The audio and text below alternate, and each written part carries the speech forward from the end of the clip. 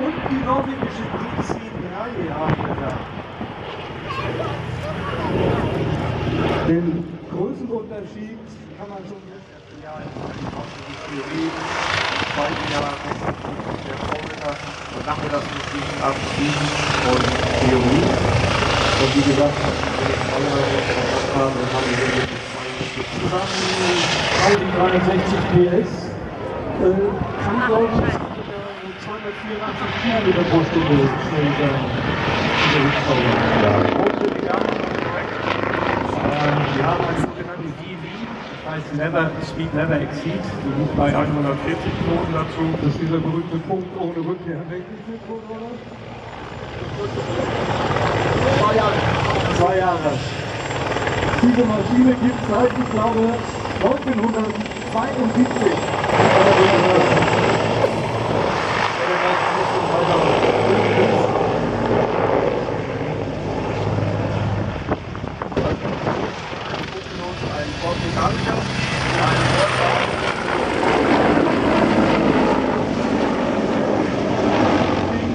Und wenn wir im Auslandseinsatz fliegen, haben wir noch dreimal stationär, die sogenannten Bordsicherungssoldaten oder im Fachjargon auch Vorganger genannt, die dann mit drei schweren Maschinengewehren, zwei an der Seite, links, rechts und eins hinten auf der dann äh, für den nötigen Schutz sorgen. Naja, wie gesagt, 19 Tonnen Abfluggebiet, Sie haben das vorhin vielleicht schon gesehen bei der Reichsverteidigung. Wir haben also einmal zum ganz normalen Lufttransport, zur Verlegung, Luftbeweglichkeit von Soldaten und Material, ähm, Hilfe, Kilometer, Reisetätigkeit, so im Tagesdienstbetrieb so circa von 250 Stunden.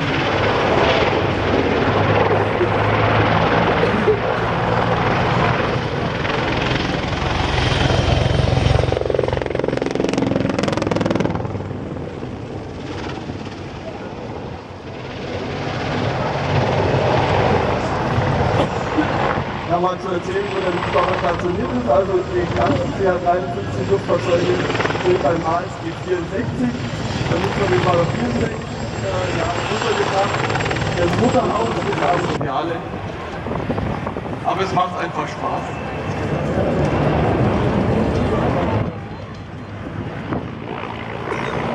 Also ich glaube, es gibt keine Achterbahn, die dieser ist. Mehrfach.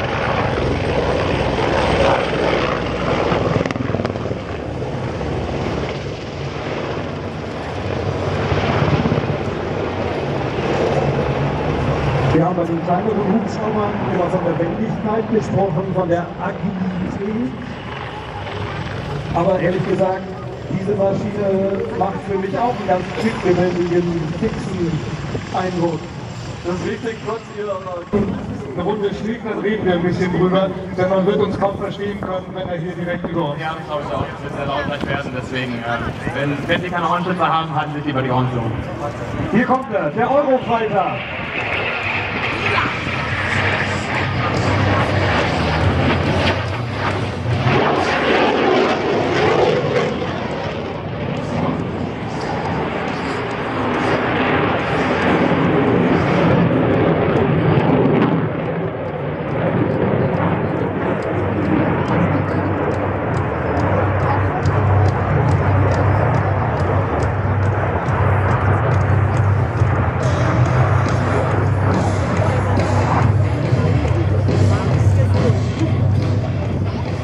Meter lang, Spannweite 11 Meter und fliegen kann er Mach 2,3.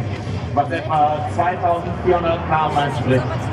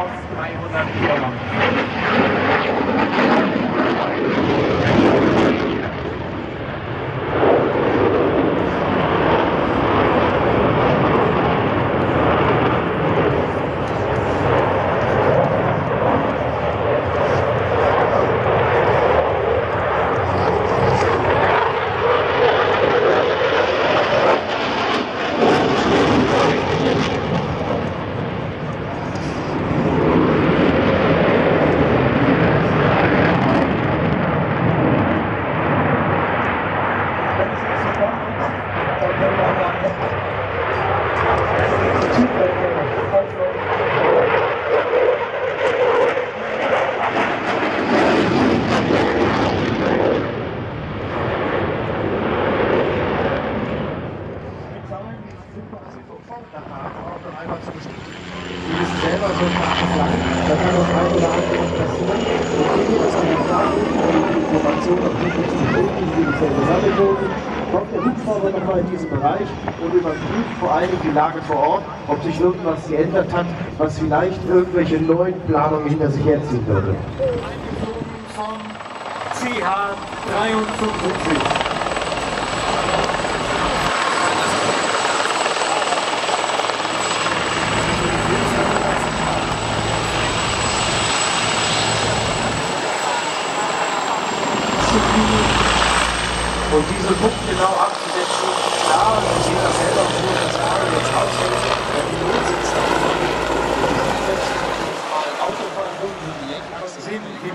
aufgemacht wird, die Ladeluke hinten und wie gleich die Last abgesetzt wird.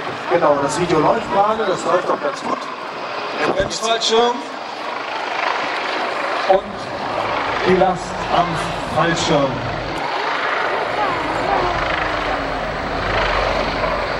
Ein wunderbares Spiel der Physik.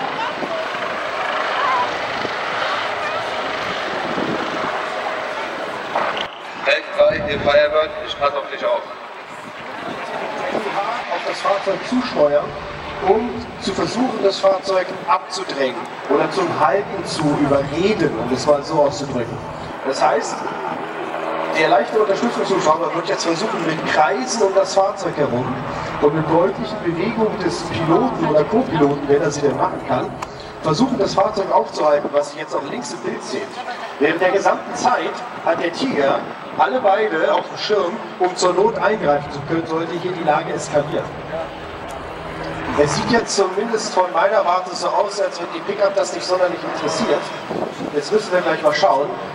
Die finale Eskalationsstufe des Vortex-Manövers ist folgendes. Der leichte, Transport, äh, leichte Unterstützungshubschrauber wird vor. Wenn Sie in der Nähe eines Krankenhauses wohnen, stellen Sie Hubschrauber. Aber wenn Sie von irgendwo anders kommen, haben Sie vielleicht selten Hubschrauber gesehen. Und nur weil der um Sie rumkreist, wisst ihr doch längst nicht, dass Sie eigentlich Leute, dass Sie anhalten sollen. Deswegen haben wir hier die nächste Eskalationsstufe erreicht. Der Pickup hält sich an. Also lassen wir unsere Einsatzgruppe raus, die deutlich sichtbar militärisch und bewaffnet ist. Und wir werden es gleich sehen. Sie werden als allererstes Anzeichen in Richtung des Pickups machen. Und ich gehe mal ganz stark oder hoffe es entsprechend, dass das ein deutliches Signal an die ist, nicht weiter fortzufahren. Und ein ganz wichtiger Punkt, es wird also in keinem Fall, ich sage es mal ganz salopp, drauf losgeballert, sondern es geht ja auch darum, in solchen Gebieten die Lage zu bestimmen. Es geht darum, auch möglicherweise die Herzen, das war ein die Herzen der Einwohner zu gewinnen. Und man muss nicht immer davon ausgehen, dass in jedem Fall ein feindlicher ein feindlicher Absicht dahinter steht. Ganz genau. Das, ja, ganz genau. In erster Linie ist es ein Hilfseinsatz. Lieferung vom Deutschen Roten Kreuz und auch äh, sonstigen Nichtregierungsorganisationen, die schutzlos fahren. Wir haben allerdings den Schutzauftrag und deswegen werden wir das sowohl aus der Luft als auch am Boden gewährleisten. So werden wir auf das Eintreffen dieses Konvois warten, haben wir vielleicht ganz kurz Gelegenheit. Das sind Situationen, die Sie, Konstantin, auch tatsächlich im Einsatz mehrfach erlebt haben. Ja, also das stimmt. Grundsätzlich war ich zweimal im Einsatz. Selber den scharfen Einsatz hatte ich, jetzt mag man glücklicherweise sagen, nicht an der Hand, aber viele Teilnehmer dieses Regimentes hier waren besonders jetzt im Mali-Einsatz in den letzten zwei Jahren stark gefordert.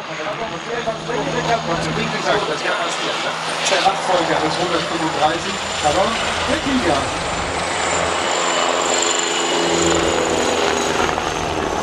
Die beiden MH90.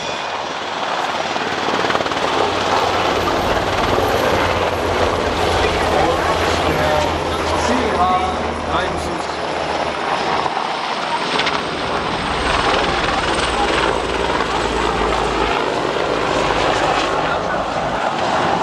Ja, meine Damen und Herren, Luftbrücke vor 70 Jahren. Die Rosinenbomber, die heute zurückgekehrt sind nach Fassberg, werden dann Fassberg wieder verlassen. Und auch das ein wahrscheinlich nie wiederkehrendes Bild, das Sie hier erleben können. Ich halte Sie auf dem Laufenden.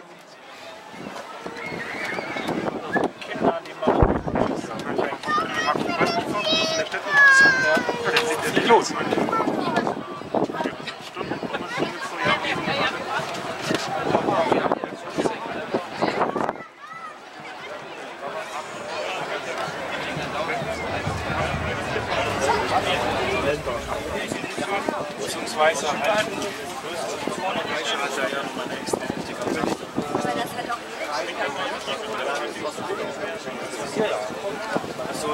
Ähnliches. Wir werden tatsächlich das Brummen noch hören in den nächsten Tagen, wenn die Maschinen dann wieder nach Hause fliegen. Ich sage schon mal Dankeschön für Ihr Interesse. Sie können sich bitte gerne weiter umschauen. Noch ist der Tag der Bundeswehr nicht ganz zu Ende. Und äh, schauen Sie sich weiter um, kommen Sie weiter ins Gespräch und schauen Sie sich vor allem diese fantastischen Maschinen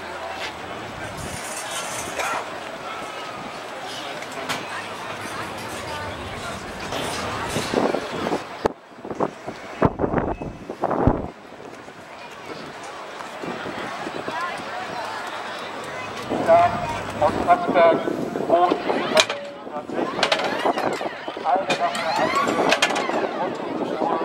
wann immer das Wetter im Juli nach der gestartet sind. Also nochmal der Hinweis die, wenn das Beste wäre, jetzt bei diesem schönen Wetter und diesem Bild der DC3, bleiben Sie einfach noch ein bisschen, genießen Sie einfach noch diesen schönen Sommerabend in Fassberg und lassen sich noch ein bisschen Zeit und ein bisschen Geduld mit dem Weg zurück. Denn wie gesagt, im Moment ist es sehr voll auf den Straßen und bevor Sie da im Stau stehen, trinken Sie einfach lieber noch eine Cola.